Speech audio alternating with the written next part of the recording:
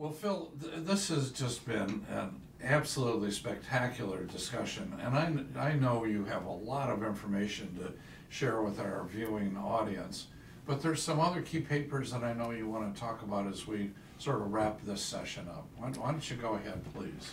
Well, there's a great deal of work that's been going on for decades where we are now seeing the results. Probably the most important in my mind are work, is work that's been done at the Mayo Clinics. And the Mayo Clinic studies have focused on women age 45 or under who are estrogen deficient, typically due to a surgical procedure. And, and are hysterectomies pretty common in this age group? Hyster- the most common age for hysterectomy is, is 46 point, well, the average age is 46.1. Wow. Um, 41 to 45 is the most common age. 35 to 39 is the second most common Wow, age. Phil. So you Holy see, smokes. so by the time women get to be 50, a third of all the women in the country have no uterus. Wow. That's, that's a huge number, I mean, that's Well, we, huge. it absolutely is, and it does mean by, by the time the women are in their forties or f- under age forty-five, we've got more than a million women who have no ovarian function. Wow.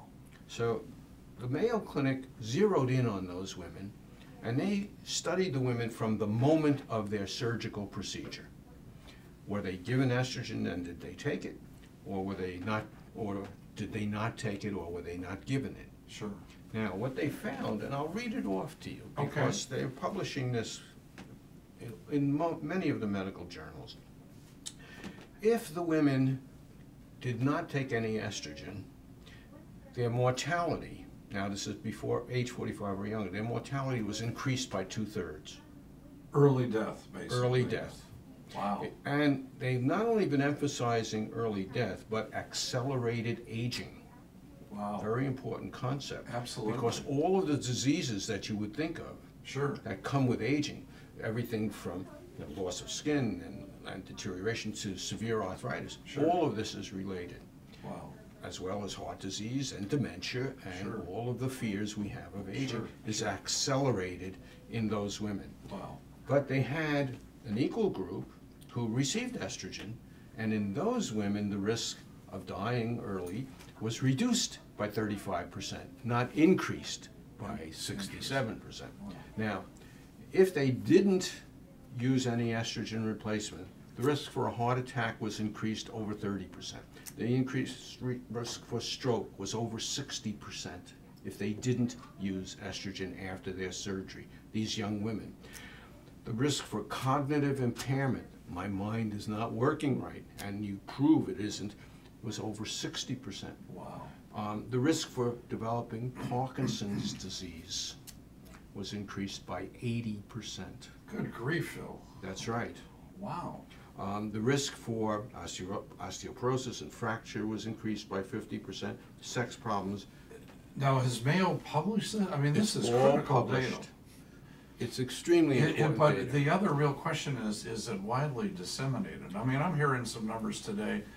I, I grant you, my focus is on breast cancer, but I've not heard these numbers as a general physician, if you will, you know? Well, they should be more widely known. Yeah, sure. Um, they are published in the most important journals. Sure, sure. Um, the study that I quoted earlier, the study from the NIH of this twin of the two sisters Yeah, study, right, is right. published in um, the American Journal of Epidemiology. Yeah, Um, no, the studies are are being published, but you've got doctors overwhelmed with information, Sure. just as the general public is overwhelmed. That's exactly I mean, if you correct. go, if the woman of today goes to Google and puts in estrogen and breast cancer, there's so much that's going to come up, and so many different opinions are going to come up. It's got to be confusing to her. right. So it's difficult to make a decision. What our foundation has been trying to do is get the correct information out to the people who need to know it. and that's both the general public and critically important is the physicians who potentially can be prescribing estrogen replacement therapies. Right, because all of these things I just told you, Mayo's also Yeah. showed if they had estrogen replacement, Yeah. most of this was avoided. Yeah, you know, I'm gonna speak personally now. My mother, um, had, uh, postpartum, uh, hemorrhage that ended up, her uterus was removed in her thirties. And I think back of the thirty-five or forty years or whatever it was she was on Premarin, my mom lived to, into her mid-eighties. And, and thank goodness she got that hormone replacement therapy. That, uh, I'm just sitting here as you were cranking all these numbers out and talking about this, thinking, wow, I personally benefited from whoever was smart enough to have my mom on, on estrogen all those years, so, wow. Phil, what other things, as we get near the end, this has been a delightful conversation with you, very informative. Are there any sort of final points that we wanna, wanna share with our viewing audience today? Well, I really have been encouraged by the response that we've seen in the two years, two- little over two years, since we started this educational effort. Yeah. That um, we have millions of women actually who have come to Empower to the site and looked at the programs and are thinking about it.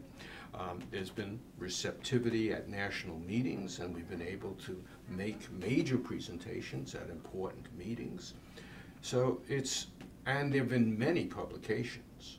Uh, I've lost track now. One of the most important that was done right here in Los Angeles, Dr. Hodis's study, in which he showed if the women received, within, within six years of their menopause, if they received estrogen versus not getting, how it protected their arteries. Right. And so there's study after study after study. I think the pendulum is swinging. I think when you see this kind of risk-benefit difference, the benefits far outweigh. Now, besides going to empowher.com, does AHA have its own website it does, correct, or not? No. Oh, you do not We're connected to Empower, and the reason is, number one, is that the founder of the company has maintained a very high standard. Correct. I like the way articles that are there are judged and Okay, perfect. available. Perfect. Uh, And we already have an audience that's built in. Okay, so, and that's Michelle Robson, who we both adore. And what we, what, what what we want to encourage people to do then is to go to empowher.com forward slash AHA. Is But you reminded me, I have to mention something else. Sure. Um, This month on PBS, they will be broadcasting a program called Hot Flash Havoc.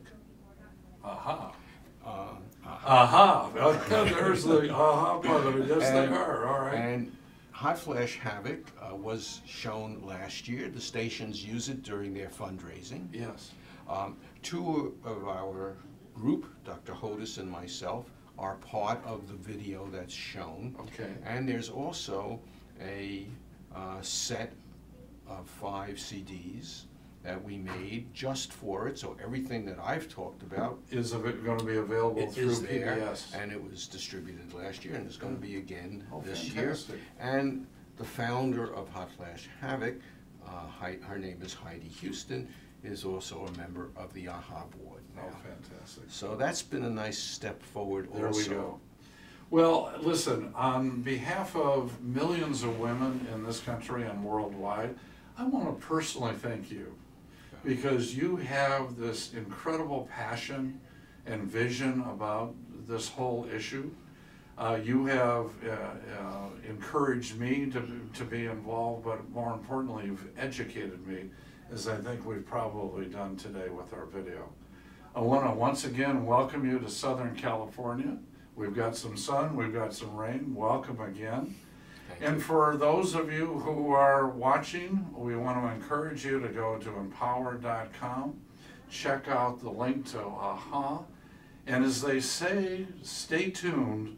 More information is coming about this very, very important subject.